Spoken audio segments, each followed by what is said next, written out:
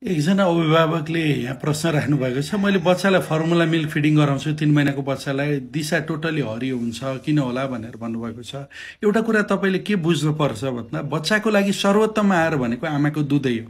आमाको दुधभन्दा बेटर कुनै पनि कम्पनीको राम्रो कम्पनीको यो देशको त्यो देशको भन्ने फर्मुला मिल्कले आमाको दुधसँग कम्पिटिसन गर्न सक्दैन। त्यही भएर मेरो नम्बर वान सल्लाह भनेको आमाको दुध नै खुवाउनु होला। यदि आमाको दुध पुगेन भने त अब हामीले बच्चालाई भोको राख्ने कुरा भएन। त्यो भएर चाहिँ यो कन्डिसनमा हामीले फर्मुला मिल्क दिन्छौँ। एउटा कुरा के ध्यान दिनु पऱ्यो भन्दा हरियो आउनु नराम्रो होइन। यदि हाम्रो यो पित्तको कारणले हरियो आउँछ दिशा अलिकति राम्रोसँग पच्यो भने धेरै पच्यो भने खैरो आउन सक्छ ठिक्कको पचेर आयो भने पहेँलो आउँछ र कहिलेकाहीँ आन्द्रा अलिकति फास्ट चल्दाखेरि कहिलेकाहीँ फर्मुला मिल्क चलाउँदा यस्तो हुन्छ हरियो दिशा आउँछ भने तपाईँले यो चिन्ता गर्नुपर्ने अवस्था छैन। हरियो आउँदैमा फेरि हाम्रो गाउँघरमा के चलन छ? आमाले साग खाएर चिसो भएर यो भएर त्यो भएर हरियो आएको भन्ने छ त्यस्तो हुँदैन। आमाले साग खाँदैमा दुध हरियो पनि आउने होइन र त्यो दुधले हरियो दिशा निकाल्ने पनि होइन।